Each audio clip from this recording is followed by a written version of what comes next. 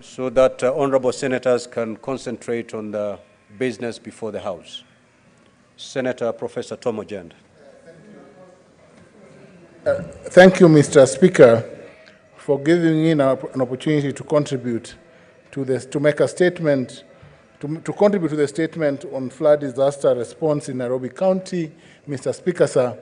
Mr. Speaker, the flood, the flooding in this country this year, I must say, is unprecedented. And unprecedented, Mr. Speaker, because the volumes of water that we have received from the precipitation uh, in most parts of the country, Mr. Speaker, sir, has caused or led to a disaster and to the loss of lives.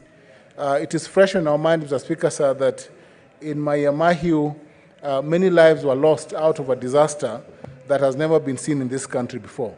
Mr. Speaker, in my own county of Kisumu, uh, we have not only lost crop, livestock, but also lives because of, uh, Mr. Speaker, for the first time, Mr. Speaker, since 1964, the volume uh, of water in Lake Victoria has moved from uh, less than uh, 2.4 million to now 2.6 million cubic liters uh, per minute or per second in the lake, leading to a backflow that, has- affected Kabonyo, Kanyagwal, Nyakach, and other sub-counties in Kisumu County.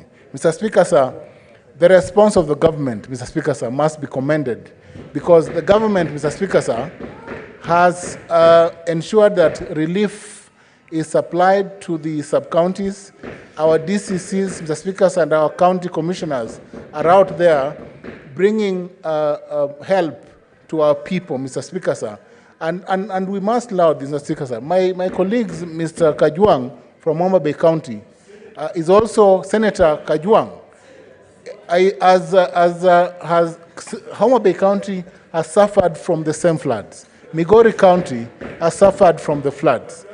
And, and we, we, we must commend, Mr. Speaker, the President, for taking personal effort to visit Mathare and to assure the residents of Mathare that we must improve the living conditions of the residents, Mr. Speaker, sir, by constructing houses so that people are moved away from the riparian land, Mr. Senator Speaker. Fernande, honestly, we have enough noise. Mr. Speaker, outside. however, Mr. Speaker, however, we acknowledge that disaster management is a dual function, both of the national government and the county government. And Mr. Speaker, sir, it is time that we have a framework where the national government and the county government deal with disasters in a manner that does not lead to some of the hitches that we have seen in certain places, Mr. Speaker, sir.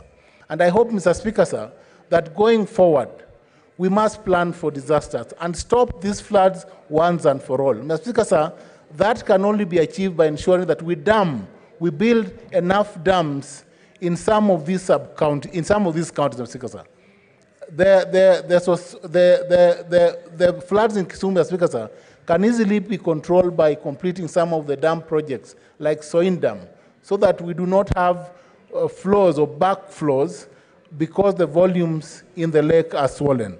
And I think Senator Oburu of Siaya is nodding in support of the suggestion that we need to complete the Soin Dam.